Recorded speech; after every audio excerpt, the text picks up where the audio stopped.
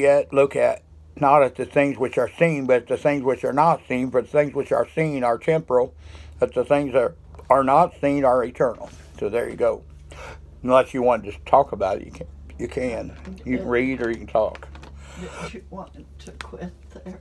Oh yeah, if you wanted, we could. Cause That's for a chat. oh, if we do, I can get my room cleaned up, and get ready, and all. I uh-huh. probably wouldn't run out of time, and be late, uh-huh. cause I'd like to get over by three or three thirty.